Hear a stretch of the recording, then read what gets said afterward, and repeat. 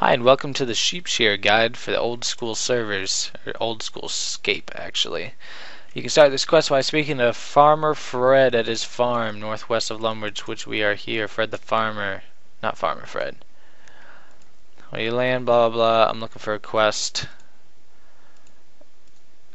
Use some wool. Okay, I can do that. Uh,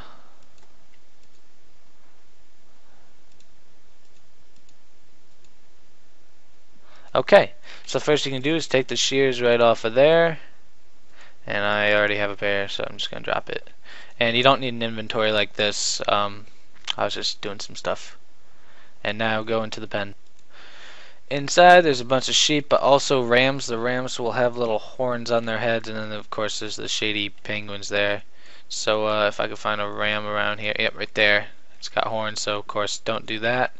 Do this and sometimes they will escape from you. Just uh, go after them.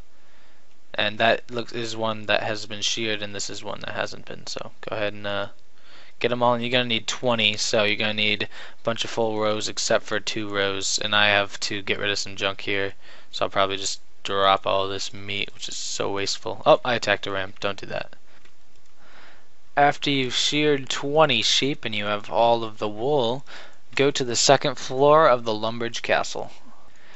At the second floor of the Lumbridge Castle towards the south there will be a spinning wheel, so spin on the spinning wheel, ball of wool, make X 20, enter. And make all of them. And head back to the farmer. And now that we're back in Fredison's house, talk to him, what are you doing on my land? Fred, Fred, Fred, I've seen the thing.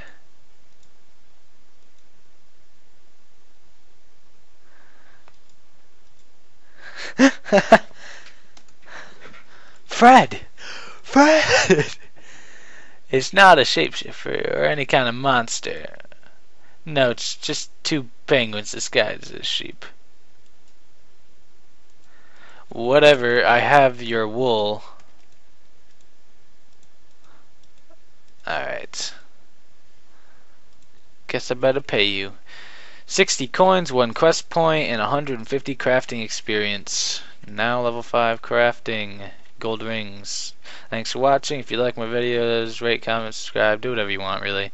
Thanks for watching. Bye.